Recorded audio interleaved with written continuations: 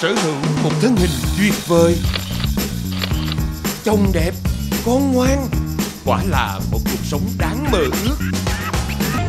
Nhưng một tai nạn đáng tiếc đã xảy ra. Và một cô gái bé nhỏ Người có cơ hội sống tiếp phần đời của cô gái bất hạnh. Cuộc sống từ bên trong gia đình Có thực sự tốt đẹp như vẻ bề ngoài.